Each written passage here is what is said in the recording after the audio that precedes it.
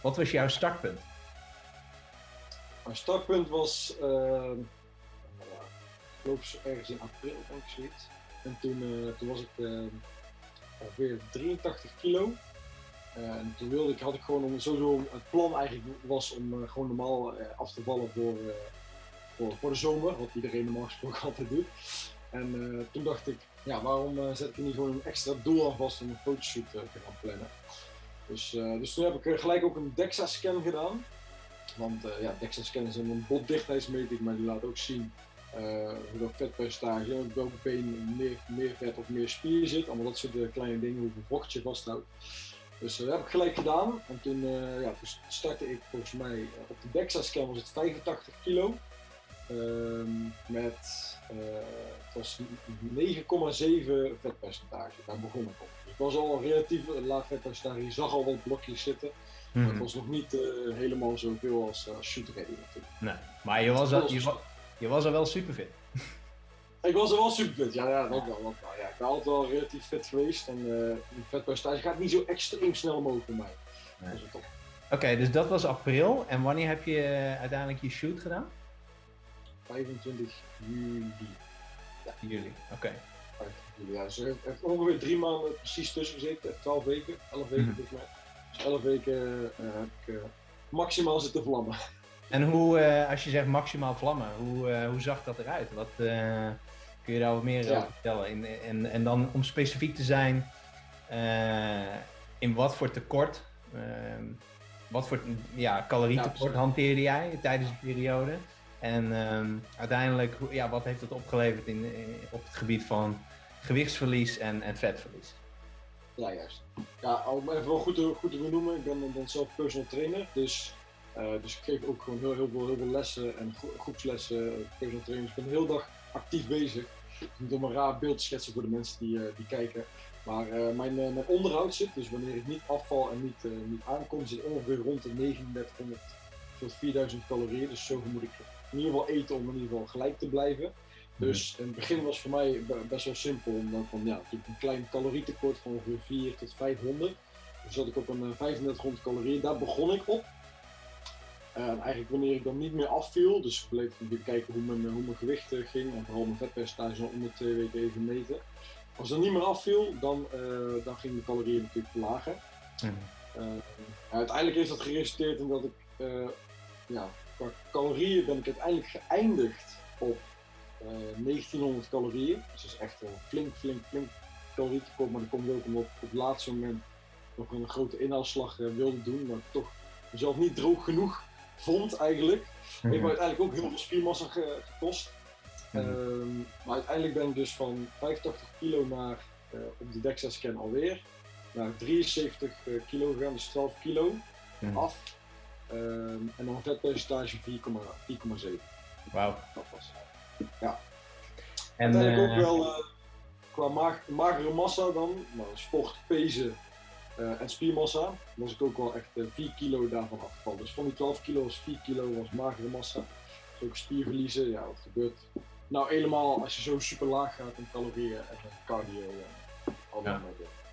Wat, wat, wat vond je het moeilijkste tijdens je periode in de aanloop naar de shoot? Hmm. Uh, echt bijvoorbeeld de laatste vier weken dan gebeuren. Zo, ja. De laatste vier weken? Puur omdat je toen in een grote calorietekort ging? Ja, ja, ja echt voor, vooral die, die energie. Ik moest natuurlijk nog, nog uh, groepslessen geven. Hmm. Uh, eigenlijk gedurende de hele tijd ben je best wel een beetje chagrijnig, omdat je, ja, je geeft je lichaam eigenlijk niet wat hij uh, daadwerkelijk nodig heeft. Hmm. Dus, dus weinig energie, libido was laag uh, chagrijnig, slecht slapen. Dat waren allemaal dingen waar ik dan wel tegenaan liep. Dus het waren wel, wel echt moeilijke dingen.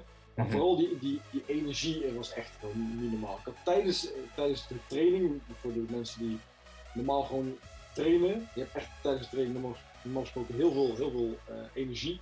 Maar dat was nu echt totaal niet. Echt als je twee oefeningen had gehad, dan was je eigenlijk al afgeschreven terwijl je dan uh, nog tien oefeningen moest gaan doen, zeg maar. Ja. Om wel die spieren te behouden. Ja. Dus dat was wel uh, in de aanloop echt wel het moeilijkste. En heb je, bepa heb je bepaalde trucjes toegepast om dat nog uh, enigszins ja, te kunnen volhouden? Of was het gewoon knop om? Sowieso, ja, het was sowieso. Bij mij was het natuurlijk wel gewoon het doel wat ik had gesteld. Motiveerde mij zo hard dat ik dat, mm. ja, dat kon nergens tegenop tippen. Wat natuurlijk wel een klein beetje hielp voor mij was gewoon cafeïne. Cafeïne om de energie in ieder geval te boosten voor de training. Uh, maar het resulteert dan uiteindelijk ook weer in dat je na de training weer echt een zieke energiedip krijgt. Ja. Dus uh, dat is wel uh, dat is één tool die je dan, dan kan gaan, gaan gebruiken. Maar voor de verder is het echt gewoon echt je mindset. Voor mij in ieder geval was het, was de mindset van ik weet ongeveer hoe ik eruit moet gaan zien voor die shoot. Mm -hmm. daar wil ik heen en ik ga niet, ik ga niet voor minder. Dat was mijn, dat was mijn streven in ieder geval. Dus dat heb ik wel doorheen getrokken. En uh, hoe waren de weken na de shoot? En met name de eerste, de eerste, de eerste paar dagen. Ja, de eerste paar dagen. Ik ben natuurlijk gelijk naar, uh, naar de Mac geweest, de Dunkin' Donuts. want het is zoveel, je lichaam vraagt gewoon om suikers. Maar het is wat jij ook misschien wel kan beamen, want jij hebt ook een, een, shoot gedaan. Ja. Uh, je lichaam vraagt gewoon letterlijk om, om, om koolhydraten, om suikers. ja, omdat het gewoon eigenlijk zo lang in tekort heeft gezeten. Dus in die weken daarna. Um, ja, ik kreeg maar, ik kreeg maar geen eh, stop op die honger. Nee. Ik, ik, bleef maar, ik bleef maar eten. En ik wilde dat natuurlijk zo laag mogelijk houden, want ik wil niet gelijk het effect krijgen dat je een vochtbal wordt. Ehm, eh, of dat je helemaal gelijk opblaast. Dat gebeurt natuurlijk wel een beetje. Ik wilde dat zo laag mogelijk houden, maar uh, mijn lichaam vroeg er gewoon om. En, ik, en dan, het leek wel of je echt gewoon een bodemloze put was. die, ja, die kon niet stoppen met eten, zeg maar. Dat heeft denk ik echt serieus wel vier weken aangehouden. Ja. En dat eh, heeft geresulteerd in welk, uh, in hoeveel gewichts? Uh... ik denk in, binnen drie weken was ik sowieso 7 kilo aangekomen. Ja. Ja. 7 kilo, ja. Dus natuurlijk ook heel veel vocht, maar ook heel veel voedselvolume. Ja. niet, niet dat je gelijk alleen maar vet aankomt, dat is ook niet mogelijk. maar het is natuurlijk heel veel vocht, voedselvolume en, koolhydraten die jij, die jij als lichaam weer vast gaat houden. Mm -hmm. Maar ja, dat is ook wel een beetje normaal om je normale hormoonlevels weer eh, terug te, terug te krijgen. Ja. Was wel in ieder geval benodigd. Ja, nou heel herkenbaar inderdaad. Ik, uh, ik heb het zelf ervaren. Ik ben uh, in de maand na mijn shoot 15 kilo uh, weer aangekomen. Ik was ook... 15? 15, ja. ja. nou, ik, ik, was 10 afgevallen voor de shoot. En ehm, uiteindelijk 15 aangekomen en toen weer 5 eraf. Dus uiteindelijk weer terug. Ja, precies. Um, ja, ja. Wat is dat bij jou ook het geval? Ben je nu weer eigenlijk op het punt waar, uh, waar je toen begon in april? Ja, ik, uh, ik zit nu letterlijk weer op uh, eh, 83 kilo ongeveer. Ja. Dus inderdaad precies waar ik, waar ik weer, weer terug ben. Ook ho hopelijk met, met weer de, spiermassa die ik toen verloren ben, want die heb ik weer allemaal proberen eraan te krijgen. Mm -hmm. Natuurlijk is het voor je lichaam al makkelijker, omdat je lichaam daar al aan gewend is. Dat noemen ze memory muscle, zoiets. ja, zoiets. Dus, uh, dus dat was natuurlijk makkelijker om weer aan te zetten. Maar ik zit dus nu weer inderdaad op 84 kilo, 83 kilo ongeveer. En uh, ja, je voelt jezelf gewoon zoveel, zoveel beter als je niet in dat zware calorietekort zit. Met de hoeveelheid cardio en de hoeveelheid training die je aan het doen bent. Mm -hmm. Het is wel echt gewoon een last op je lichaam als je het gaat doen. Sowieso, mm -hmm. het is een super, super, super vette ervaring. Maar uh, het is wel echt een, een, een last op je lichaam. Ja. En wat is jouw grootste tip voor mensen die een, uh, een shoot gaan doen en inderdaad dat gaan ervaren? Dus die, die, dat gevoel van honger en de, dat eh, als het ware in een soort van gat vallen, want dat is het. Want je, net wat je zegt, je, je, je hebt dus echt een doel uh, wat er ook voor zorgt dat je continu nou ja, gewoon dopamine aanmaakt dat naar dat doel toe werkt. En dan ja. heb je dat doel behaald en dan in één keer uh, is het weg en dan verandert je ja, je, je, doel of je craving, je, je, ja, je dopamine eigenlijk komt vanuit je voeding. Dus je, dan kun je daar niet mee stoppen. Ja, letterlijk. Wat, wat, wat, wat, zou je als tip mee kunnen geven? Wat is je, hoe, hoe heb jij dat onder controle gekregen, die, die, die periode daarna? Um, dat is een hele goede vraag. Hoe ik het onder controle gekregen? Uh, ja, omdat ik, ik heb ook bij verschillende mensen, dat, dat maar persoonlijk heb bij verschillende mensen gezien hoe zo'n rebound effect kan zijn. Van hoe je er dan in één keer binnen, binnen vier weken van zo top fit uitziet naar over vier weken uh, opgeblazen en eigenlijk alle definitie van wat je had is zeg maar weg.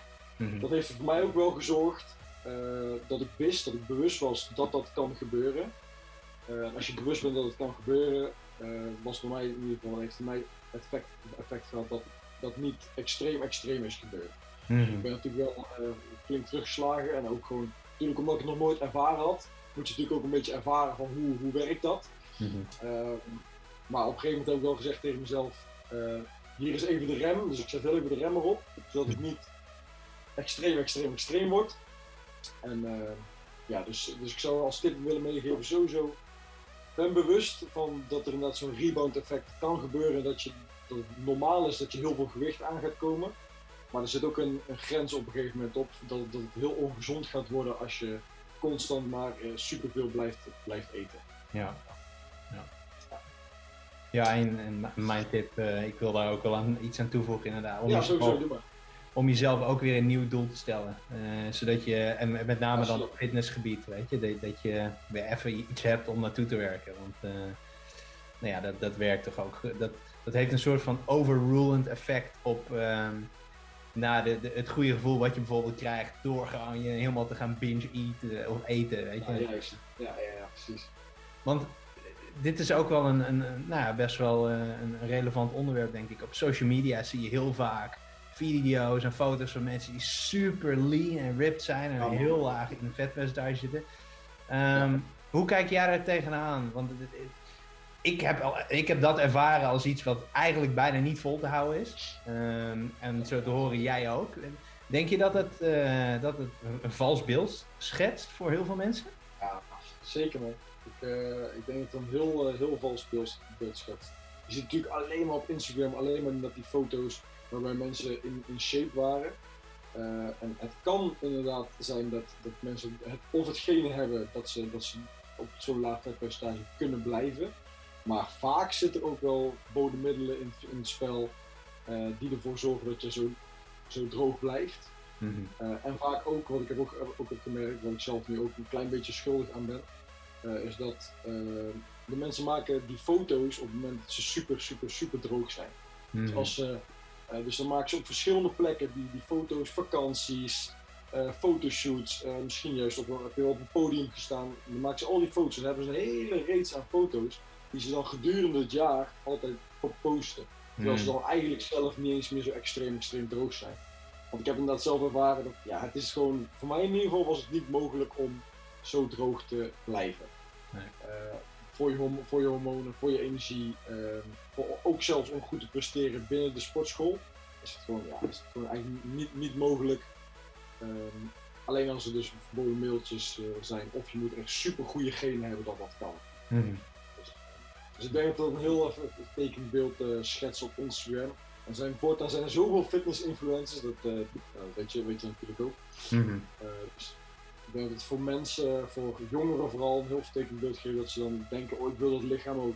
Maar dan uiteindelijk niet het resultaat krijgen of wat ze willen. En ook uiteindelijk niet zo droog kunnen blijven. En dan gaan ze misschien zelf schuldig voelen mm -hmm. dat, ze, ja, dat ze dat niet halen, dat zij het niet kunnen of zo.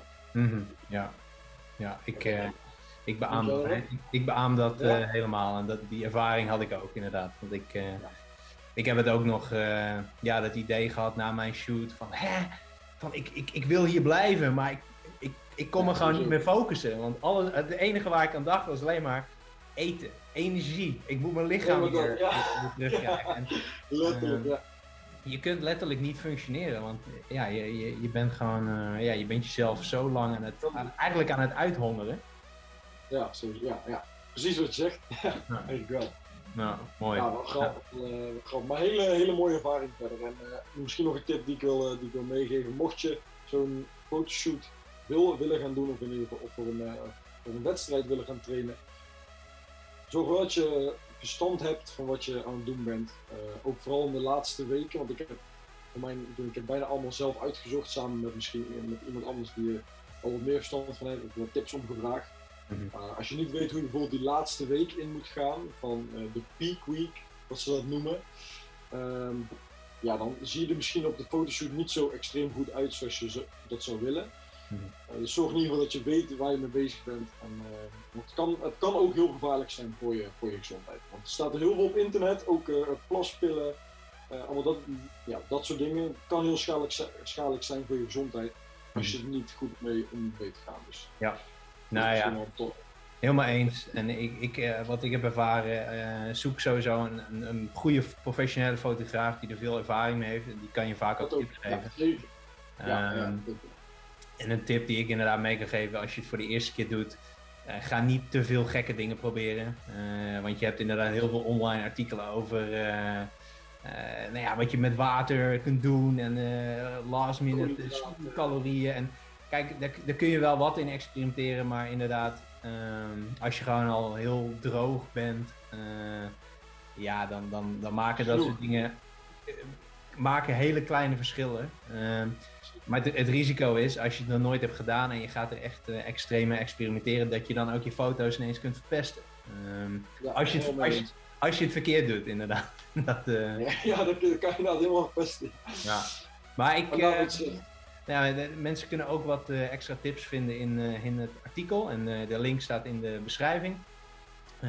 daarin geven we bijvoorbeeld ook wat tips over het zelfbruinen, bijvoorbeeld. ja. Dus, want ja, dat hoort er allemaal bij. En als je je shoot doet, dan wil je het. Ja, je hebt maar één kans. Dus we wil er ook voor zorgen dat je niet spierwit op de foto staat, natuurlijk. Helemaal eens. Nee, dat kan niet. nee. Nou ja, top. Dankjewel voor het delen van je ervaring. Ik denk dat het uh, met name het laatste wat we hebben besproken, dat het. nou ja, ook heel een, een, een verhelderend beeld kan, ja, kan schetsen voor, voor mensen die echt zoiets hebben. Maar hoe kan dat nou dat ik ik train zo hard en ik, ik, ik heb zoveel uh, vet verloren en ik heb een shoot gedaan, maar ik kan het niet volhouden. Nou, dan, uh, nou hierbij uh, heb je in ieder geval twee mede, mede getuigen die hetzelfde hebben ervaren. En ik denk nou ja, dat dit gewoon een, een, realistisch beeld schetst. Maar het is ja, zeker een, een ervaring die ik aan iedereen kan aanraden. Dat, dat sowieso. Ja, het is echt een ervaring om, om goed, ja, goed inzicht te krijgen van hoe je lichaam gewoon werkt. En, ja, en het is gewoon een mooi, gewoon een mooi proces voor jezelf. Ja, nou super. Dankjewel voor het delen van je ervaring.